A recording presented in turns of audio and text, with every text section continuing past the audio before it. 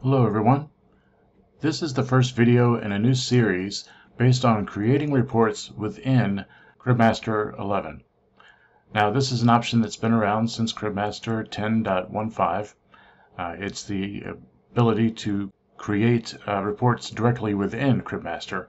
Uh, before this option existed, if you wanted to create your own reports, you needed to do it in, a, in Crystal Reports and then import the, uh, the report you created. Now you can still do that, but we also have the option now that you can do it directly in the system and you don't need to go out and, and purchase Crystal Reports or, or learn how to use it. So here in CRIBmaster, I'm on the System ribbon. I'm going to go to Database Utilities and Report Management. Now about halfway down this list of buttons, there is this button called New Custom Report. So I'll click that. Now the first thing I need to do is give my report a name. And I'm not, this is not a name that will be there carved in stone. I can change it later if I need to. So for right now, um, I'm going to create an inventory report.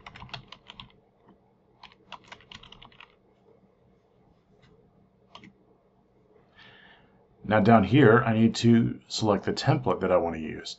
Now the template that I pick is going to dictate what tables are available to me and what fields that I can pull onto my report. Uh, I find that the transaction report actually has the most uh, to choose from, um, but you can choose any of these other templates as well. I'm going to go ahead and click Transaction Report Template. Now CRIBmaster has opened up this new workspace for me. As you can see, it kind of looks a little bit like a Microsoft Office product. We've got the ribbon along the top, as well as your standard formatting buttons. But also, if you are familiar with Crystal Reports, this layout is very, very similar. There are some differences here and there, but um, even if you have no experience with Crystal Reports, you should still be able to use this program with no problem. Okay, now it's time to start adding some information to our report. Over here on the right side, this right pane, uh, you may notice we've got these three tabs here, Properties, Dictionary, and uh, I believe this is a Report Tree, but we want to go to the dictionary. When you go to the dictionary, you're going to see a tree format like this. If we want to go to Data Sources, we'll expand that. Underneath that, you're going to see the name of your database. In my case, it's called CRIBmaster. Yours may be called something different. When I expand that, it's going to show me these uh, tables that are related to the template that, it, that we picked earlier, transaction. Now we're basically building a transaction history report. So the fields that we want to pull are going to come from the trans table. So I'll expand that.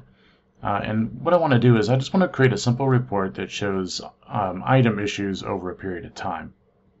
Uh, so the first thing we're going to pick is the item and I'm going to click and drag this over and it's pulling over two pieces of information. One is the item number, which is this right here, and the other one is the actual data.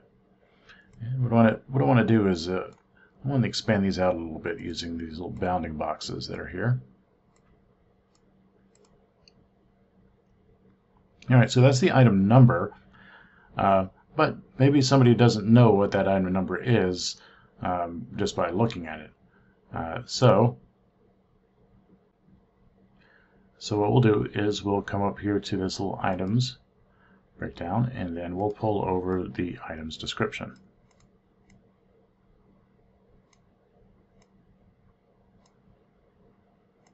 Spin that out a little bit. We'll do this one to match. Now I'm going to double click this upper header here because I want to change it's all in all, it's all in caps. It's got the one there. Um, I'm just going to change this to description. Just to make it a little easier to to read. Click OK.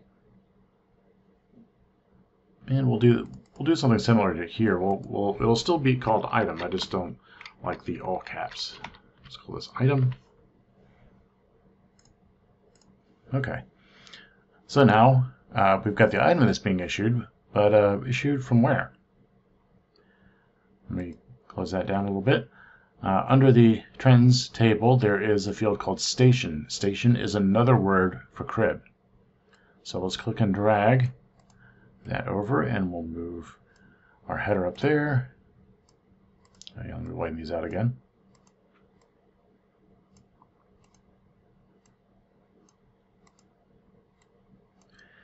And we'll do a double click here and change this to crib. Okay.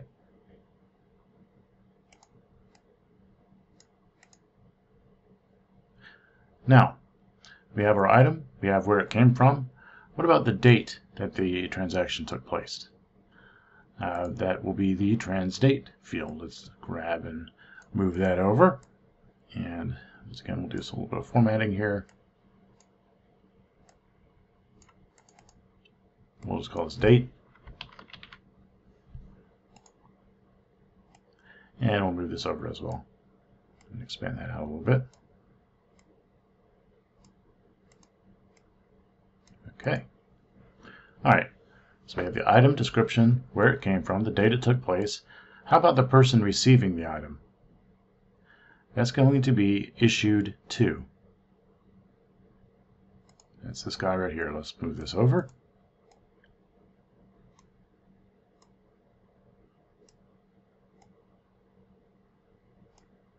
And we'll move that out a little bit. And uh, once again, I like issued to, I just don't like the all caps. So let's just make that like that. There we go. All right, so the last piece of information we want to move over is the price. Um, what did this item cost uh, when it was issued?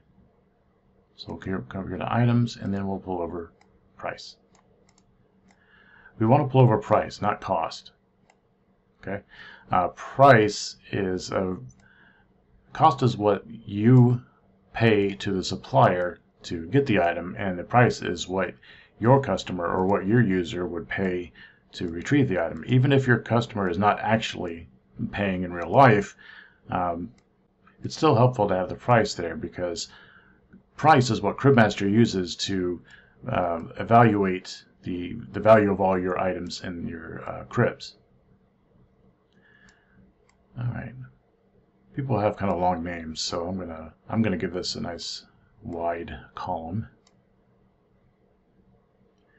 uh, and then also move these out a little bit. Move these over a little bit. Okay. All right. So let's see what this looks like. Okay, so this is a good start. Um, our report is a little basic, but in the next video, we're going to do some formatting and we're going to do some uh, fixing of the data and make it look much, much nicer. Uh, so stay tuned for that.